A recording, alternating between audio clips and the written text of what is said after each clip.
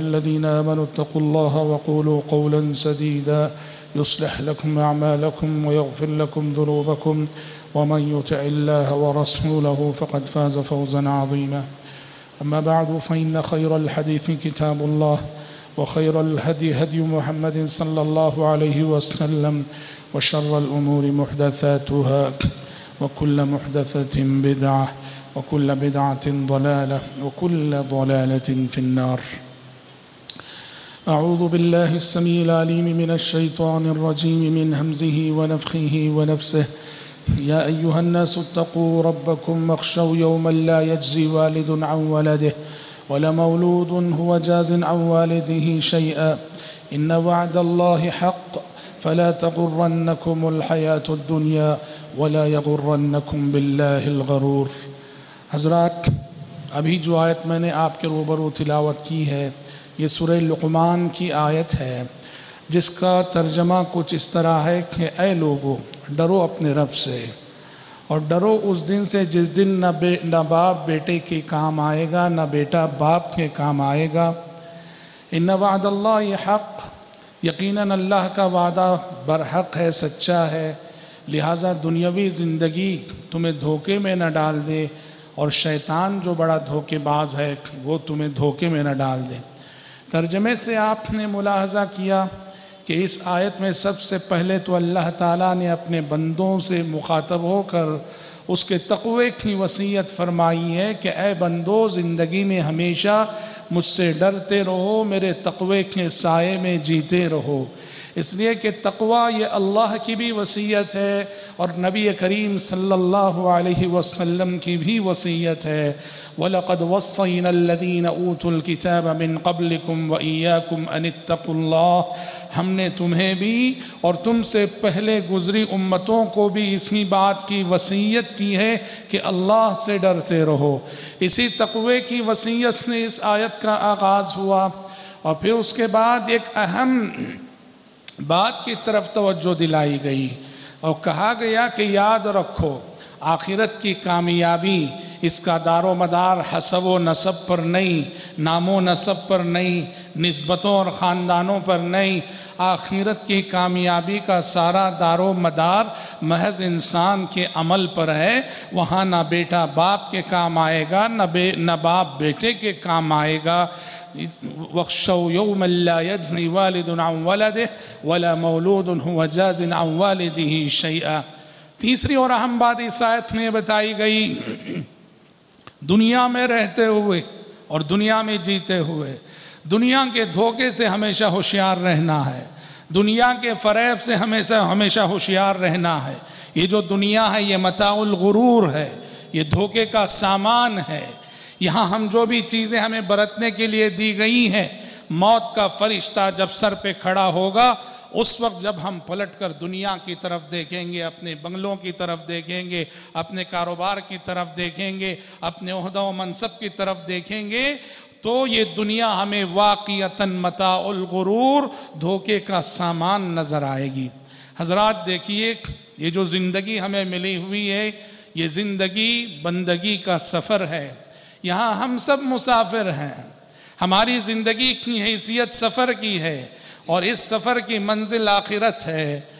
हम में से हर शख्स के आगे ये चैलेंज है कि आखिरत की इस मंजिल तक कामयाबी के साथ हम कैसे पहुँचे।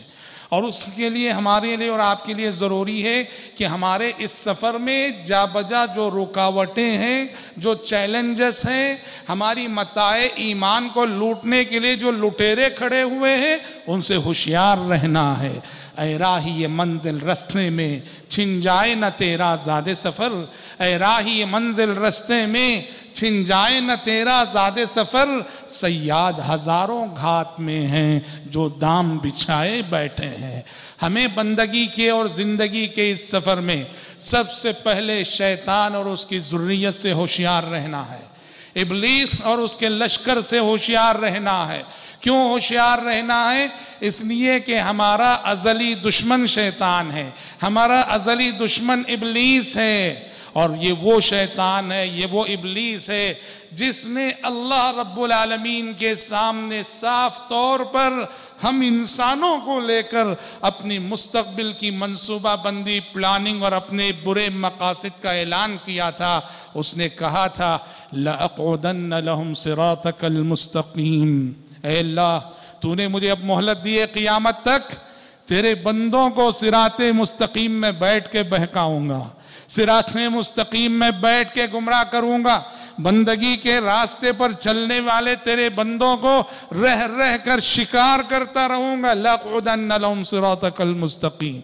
और दूसरी बात उसने ये कही अल्लाह, तेरे बंदों को गुमराह करने में कोई कसर बाकी नहीं छोड़ूँगा, कोई रास्ता नहीं छोड़ूँगा।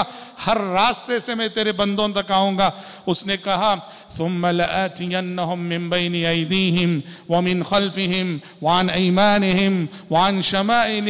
अल्लाह, तेरे बंदों पे मैं हमला करूँगा, उनके आगे से भी करूँगा, उनके पीछे से भी करूँगा, उनके दाएँ से भी करूँगा, उनके बाएँ से भी करूँगा, चारों जानिब से तेरे बंदों पे हमला करूँगा। सोचो हाँ कोई सिपाही हो मैदान जंग में, और तीर उसे चारों तरफ़ से आ रहे हो। कितना होशियार रहना पड़ता है उसे। आगे से भी तीर आ रहे हैं, पीछे से भी आ रहे हैं, दाएँ से भी आ रहे हैं, बाएँ से भी आ रहे हैं। ऐसे सिपाही को कितना होशियार। एक सेकंड भी वो अपनी आँख बंद नहीं कर सकता है। किसी भी जानिब से गफलत में मुब्तला नहीं हो सकता है। इबलीस का इस ज़मीन पर एजेंडा यही है कि चारों तरफ़ से इबन आदम पे मैं हमला करूँगा और किसी ना किसी तरफ़ से मुझे कामयाबी मिलेगी। और उसने अल्लाह से यह भी कहा, वला तजिद अक्सर हम शाकिरीन, वला तजिद अक्सर हम शाकिरीन। और ए अल्लाह, तू अपने अक्सर बंदों को शुक्रगुजार नहीं पाएगा। तेरे बंदों को तेरी शुक्रगुजारी करने नहीं दूँगा। तेरी शुक्रगुजारी के रास्ते में रुकावटें डाल के तेरे बंदों को नाशुक्र बनाऊँगा तेरी ज़मीन पर। साफ़ अल्फाज में इबलीस ने अपने एजेंडे का इजहार किया है। इसलिए अल्लाह रब्बुल आलमीन हम सबको नसीहत करते हुए फरमाता कुरान मजीद के अंदर इन शैतान आदू फतखिदू आदू इंसानों, शैतान, तुम्हारा दुश्मन है, दुश्मन को दुश्मन समझो। दुश्मन को अगर दोस्त समझने की गलती करोगे तो इन नमा यदो हिजबहूलियकून सईर, वो अपने सारे मानने वालों को जहन्नम में लेके जाएगा। दुश्मन को दुश्मन समझो और दुश्मन समझकर शैतान के साथ मुकाबला करो। कुरान कहता है, शैतान को रुसवा करो, शैतान को जलील करो। कैसे? अपनी इबादतों के ज़रिए रुसवा करो शैतान को। अपने सजदों के ज़रिए रुसवा करो शैतान को, अपनी बंदगी के ज़रिए रुसवा करो शैतान को।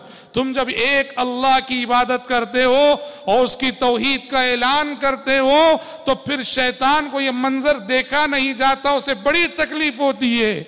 शैतान, प्यारे नबी ने हदीस में फरमाया, इबन आदम को जब वो सजदा करते हुए देखता है एतजल शैतान की इबन आदम को जब सजदा करते हुए देखता है, शैतान तनहा जाके रोने लगता है और अपने आप से मुखातब होके कहता है, उमिर अबन आदम बिसुजूद फसजत फलहुल जन्न वो उमिर तो बिसुजूद अबैद फलिन्नार। इबन आदम को सजदे का हुक्म हुआ, वो सजदा कर रहा है, उसे जन्नत मिल रही है। मुझे सजदे का हुक्म हुआ, मैंने नहीं किया, जहन्नम रसीद होने वाला हूँ। मोमिन अपने शैतान को हमेशा रुसवा करता है, अपने शैतान को हमेशा कमज़ोर करता है। फासिक है, फाजिर है गुनेगार है, काफिर है, मुशरिक है, बिदाती है, जिसका शैतान ताकतवर होता है। तो बंदगी के इस सफ़र में ये सबसे बड़ा चैलेंज है शैतान और उसकी जरूरीत का, जिससे हमें होशियार रहना है। और दूसरा दूसरा बड़ा चैलेंज जो बंदगी के सफ़र में हमें से हर शख्स के सामने है, वो कोई और नहीं, वो हमारा अपना नफ्स है। हमारा अपना नफ्स है। मेरा और आपका नफ्स है। अरबी जबान में कहते हैं आधा आदू कबई ना जम्बा एक सलफ से कौल मनकूल है। हदीस के तौर पर भी मनकूल है, लेकिन सनद ज़ाइफ है। आदा आदू कबई ना जम्बैक अपने सबसे बड़े दुश्मन को जानना हो। कि तुम्हारा सबसे बड़ा दुश्मन कौन है? दुनिया में ना ढूंढो इस बड़े दुश्मन को। तुम्हारा सबसे बड़ा दुश्मन तुम्हारे अपने पहलू में है, तुम्हारे अपने बाजू में और ये कौन है? ये नफ्स है। मेरा और आपका नफ्स है। शैतान इसकी तरबियत करता है। शैतान इसमें वसवसे डालता है। शैतान वर्गलाता है नफ्स को। शैतान उकसाता है नफ्स को। शैतान वसवसे डालता है नफ्स में। शैतान बुरे ख्यालात डालता है नफ्स में। शैतान की तरबियत पाकर हमारा अपना नफ्स हमारा सबसे बड़ा दुश्मन बन जाता है। याद रखो, ज़िंदगी में हमेशा से बैरूनी दुश्मन का मुकाबला आसान होता है। बैरूनी बाहर का दुश्मन। बैरूनी दुश्मन का मुकाबला करना आसान होता है, लेकिन जो अंदरूनी दुश्मन होता है, उसका मुकाबला कभी आसान नहीं होता। आमतौर पे हमने जो शिकस्त खाई है, हमेशा अंदरूनी दुश्मन से खाई है। ये नफ्स वही अंदरूनी दुश्मन है। इसलिए शरीयत कहती है, अपने नफ्स के शर से होशियार रहो। बल्कि अहादीस में हमें सुबह शाम दुआएँ सिखाई गई, इस नफ्स के शर से पनाह मांगते रहो। खतीब कहता है वह नऊजुबिल्लाही शुरूर अनफुसीना। अपने नफ्स के शर से अल्लाह हम तेरी पना चाहते हैं। सुबह शाम की दुआओं में हमें एक दुआ सिखाई गई, या हय्यु या कय्यूम बिरहमती का अस्तगीथ फासलिहली शनी कुल्ला वला तकिलनी इला नफसी तरफदाइन परवरदिगारा, मुझे लम्हा भर के लिए भी मेरे नफ्स के हवाले मत कर। लम्हा भर के लिए भी मेरे नफ्स के हवाले मत कर। आउजुबिल्लामिन शर नफसी मेरे अपने शर के नफ्स से अल्लाह मैं तेरी पनाह चाहता हूँ। शरीयत कहती है, अपने नफ्स को मारो, अपने नफ्स से लड़ो, अपने नफ्स को कुचला करो। अम्मा मन खौफ मकाम रबी व नफ्स अनिल हवा फ़ैनल जन्नत ही अलमावा जो अपने रब के सामने खड़े होने से डरे और अपने नफ्स की ख्वाहिशात पे लगाम लगाए, जन्नत उसी का ठिकाना है और जन्नत उसी को मिलने वाली है। इसीलिए शरीयत कहती है, ज़िंदगी में अपने नफ्स को लगाम देकर उसकी अरमानों को कम से कम करने की कोशिश करो, नफ्स की ख्वाहिशात को कम से कम करने की कोशिश करो। दुनिया को लेकर ये नफ्स जो प्लानिंग बनाता है, उसे मुख्तसर से मुख्तसर करने की कोशिश करो। हाँ आखिरत के पीछे लगाओ। हजरात इस सफ़र में, ये जो सफ़र है, बंदगी है, जिससे हम सब गुजर रहे हैं, चलते चलते कभी हम मुसाफिर थक जाते हैं। और हम में से बहुत सारे ऐसे हैं, जो थक कर गफलत की नींद सो जाते हैं। बहुत सारे मुसाफिर हैं, जो इस सफ़र में मुसलसल चलने के बजाय, वो थक कर गफलत की नींद सो जाते हैं। तो रब्बुल आलमीन हमें बेदार करता है। कैसे बेदार करता है, जानते हैं? रब्बुल आलमीन हमें बेदार करता है बीमारियों के ज़रिए, वबाओं के ज़रिए, आफतों के ज़रिए, मुसीबतों के ज़रिए, आजमाइशों के ज़रिए, इम्तिहानात के ज़रिए, तूफानों के ज़रिए, जलजलों के ज़रिए, सैलाबों के ज़रिए, जालिम हुक्मरानों को मुसलत करके रब्बुल आलमीन इन मुख्तलिफ़ हादिसात से हम सोए हुए मुसाफिरों को बेदार करता है, जागो और चलो मंजिल की तरफ़, कब्र की तरफ़, मौत की तरफ़, कब तक सोए रहोगे? न दे इल्ज़ाम ए हमदम जमाने के हवादिस को, न दे इल्ज़ाम ए हमदम जमाने के हवादिस को, यही फितने तुझे हर गाम पे बेदार करते हैं। अल्लाह ताला ने इसलिए कुरान में कहा वबलौनाहुम बिलहसनाति वस्सय्याति लअल्लहुम यरजिऊन हमने इन इंसानों को अच्छाइयों के ज़रिए से भी आजमाया मुसीबतों के ज़रिए से भी आजमाया ताकि ये अपने रब की तरफ़ लौट जाएँ वलनुदीकन्नहुम मिनल अजाबिल अदना दून अल अजाबिल अकबर लअल्लहुम यरजिऊन इन इंसानों को बड़े बड़ा अजाब देने से पहले छोटे छोटे अजाबात में हम मुब्तला करेंगे क्यों ताकि वो अपना भूला हुआ सबक याद करके बंदगी के सफ़र को फिर से शुरू करें और अपने रब की तरफ़ लौट जाएँ। तो रब्बुल आलमीन, हम ख्वाब गफलत में सो जाने वाले मुसाफिरों को बेदार करने के लिए वक्तन फवक्तन ज़िंदगी में मुख्तलिफ़ हादिसात से हमें गुजारता है। हजरात, याद रहे, इस सफ़र बंदगी में हम कामयाबी के साथ तभी कदम बढ़ा सकते हैं आखिरत की मंजिल पर कामयाबी के साथ तभी पहुँच सकते हैं। जब अल्लाह की मदद हमारे शामिल हाल रहे, तोफीक इलाही हमारे साथ रहे। इसीलिए शरीयत की तालीम है हमेशा अल्लाह से तोफीक मांगते रहो। तुम्हारा अपना इरादा, तुम्हारी अपनी दीनदारी, तुम्हारा अपना जज्बा सब अपनी जगह। लेकिन अल्लाह से तोफीक मांगना कभी ना भूलो।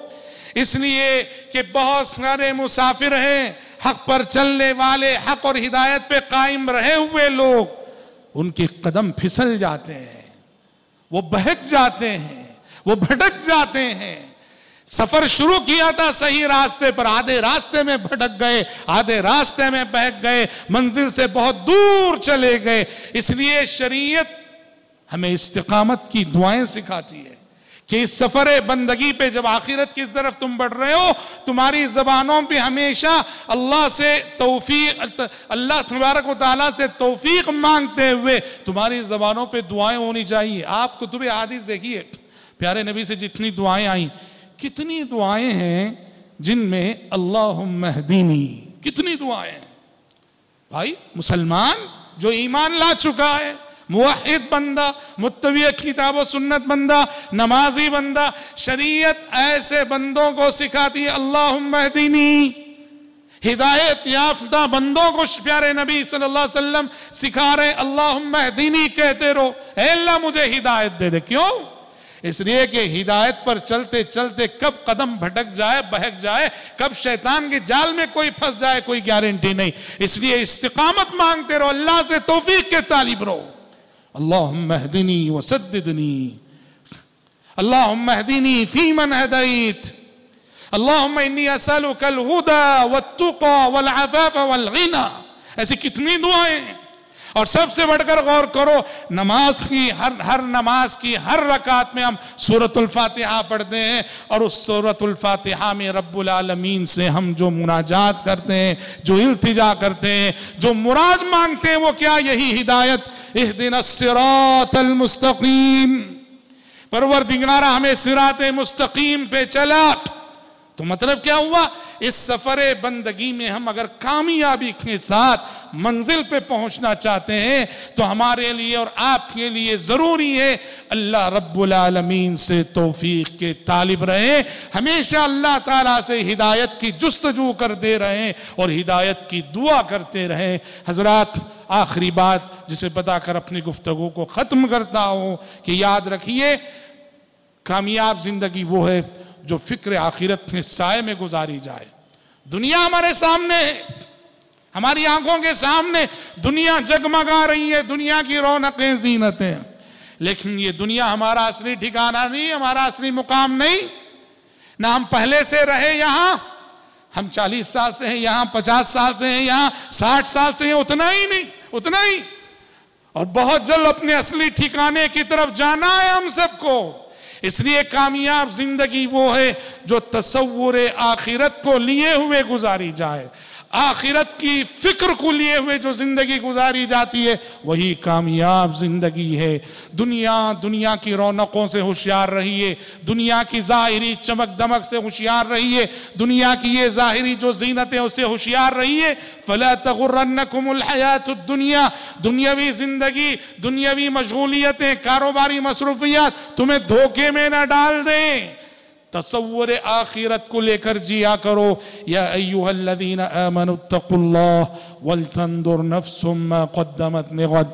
ईमान वालो अल्लाह से डरते रहो और हर शख्स को ये देखना चाहिए और ये जायजा ले, लेना चाहिए कि उसने आने वाली उस आखिरत के लिए क्या तोशा तैयार कर रखा है।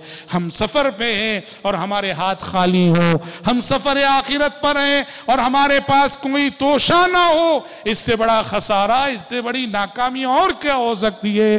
देखो कि इस सफ़र आखिरत में ईमान का तोशा है कि नहीं, तकवे का तोशा है कि नहीं, अमल साले का तोशा है कि नहीं? अल्लाह कहता है वह तजवदू फ़िन लोगो, तोशा तैयार करो और सबसे बेहतर तोशा वो तकवे का तोशा है। अल्लाह रब्बुल इज़्ज़त से दुआ कि परवरदिगार आलम, मुझ कहने वाले को और आप सभी सुनने वालों को मकसद ज़िंदगी मकसद हयात से हर सांस में आशना रहते हुए आखिरत के लिए जीने की तोफीक नसीब फरमाए। दुनिया के फरेब से, दुनिया के धोखे से हर लम्हा होशियार रहने की तोफीक नसीब फरमाए।